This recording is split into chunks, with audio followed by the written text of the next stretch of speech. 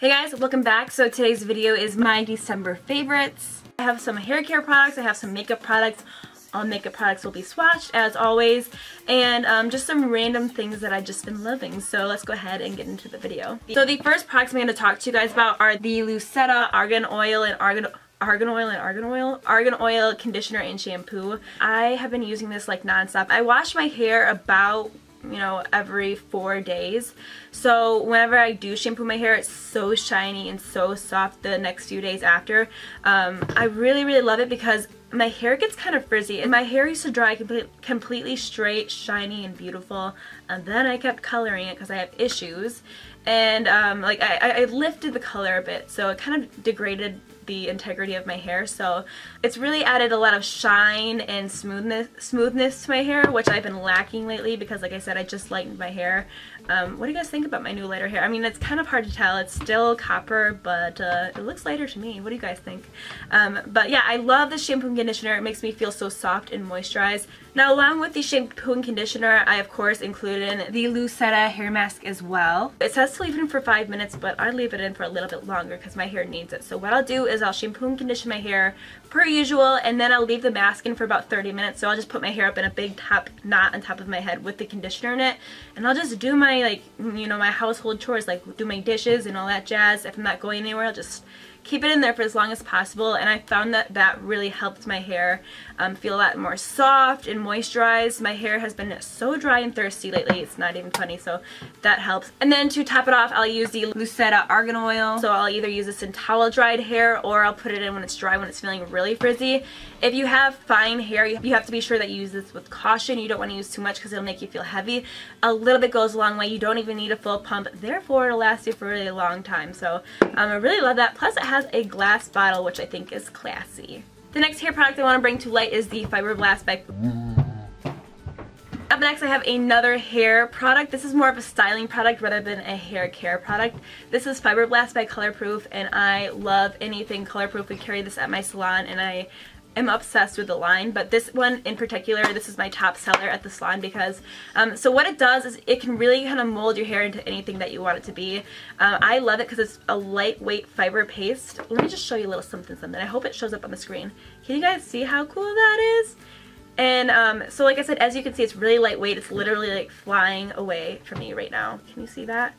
So let me just do it really fast. Like, look at it. All these little fibers flying around everywhere. It's crazy. But, but anyways, you don't have to do that. I just wanted to show you because it really distracts me every time I use it because I do that and you're not supposed to. But um, you just put a little on your fingers and scrunch it into your hair and you can get kind of that beachy wave. You can get it as messy as you want. If you want that messy and tousled look, you can literally just grab a curl, grab it by the bottom, push it upwards, and it will stay wherever you put it. Like this stuff is amazing. Obviously you don't want to wear like that but um, wherever you place your hair it will stay. So I really have been enjoying this product. It's one of my top sellers at the salon because it's one of my favorites. So if you're going for that kind of messy tousled look or if you want those big voluptuous curls this stuff is amazing. Alright, now I'm going to move on to the more makeup side of things. Um, this isn't makeup, as you can see, but this is my brush cleaner that I've been using for about, I want to say five years. This is the Cinema Secrets brush cleaner. I swear by this stuff, and basically what I will do is I put them in little tiny spray bottles and I carry them around with me on jobs, like if I'm doing a freelance makeup job or something like that, and I'll just spray paper towel, run my, run my brush along it, and it disinfects it and cleans it, so it's a really, it just sucks the makeup out of the brush. I don't know what's in the formula but it just, it's the brush, brush? It's the best brush cleaner that I've ever used, ever. Up next, I'm going to talk about the Zoeva palettes. This is my first run-in with this company, and I love the Zoeva, Zoeva um, eyeshadow palette. So this is the eyeshadow palette in Mixed Metals and it is clearly all metallics except for one matte black shade down here and I just really love the colors that it incorporated. I ordered this palette because I don't have any of these colors in my collection so I thought it was really unique. So if you've got a bit of a makeup collection this has some really unique colors in it that you might not have. So um, I got the mixed metals and I also got the Naturally Yours palette. I just figured this would be a nice one to carry around with me if I'm traveling and I just need, you know, the basics. So it has some mattes, it has some metallics, it has some satin finishes, so it just has everything that you need. I really like these palettes because they're really highly pigmented and um, they just do it for me. So I will be having a full review coming out for you guys in just a little bit here on these Zoeva palettes. Everything will be swatched, everything will be broken down for you so you can see what I think about them. And then for concealer, I've been loving the LA Girl Pro Conceal. I've been just obsessing over it lately. I got the one in Porcelain, which is the lightest shade I have underneath my eyes today. I wish it was a little bit lighter, but I'm just so stinking pale that I can't do anything about it. It's horrible. So um, it does blend out really nicely. It's really comparable to high-end concealers. I mean, it's not a high-end concealer. You can definitely tell that, but for a drugstore concealer, it's awesome. It really has great coverage. It blends out nicely. Doesn't blend out cakey and chalky so um, I recommend this if you're looking for like a, a, brightener for underneath your eyes. I really like, um, I have porcelain and then what's the other one I have? So the two shades that I have is Light Ivory and Porcelain. Porcelain is the lightest shade that you can get because I'm so white. I just needed a nice highlight color, color underneath my eyes. It's still almost a little bit too dark for me. I mean, as a highlighter, I wish it was a little bit brighter, but what can you do? You're at the lightest shade in the whole entire thing, so maybe I should go tanning or something. I don't know. Um, and then the other color is Light Ivory. It has a pink undertone to it, so it's great for covering up dark circles, but it's still bright, so if you have a normal skin tone, this would be a great under eye brightener for you. So um, I, I plan on using this one every day because, like I said, it covers up my dark circles like magic, and this one's great for brightening. So I love these two little guys. I kind of mix them together and create the perfect concealer with them. I also wanted to throw this little guy in here. This is the Sigma F57 Emphasize Contour Brush. It literally is the coolest contour brush I've ever used, so it fits right up in here, and you can drag it wherever you want your contour. It really does fit perfectly on the face, so you can bring it horizontal like this, or you can bring it vertical, depending on what kind of contour you like.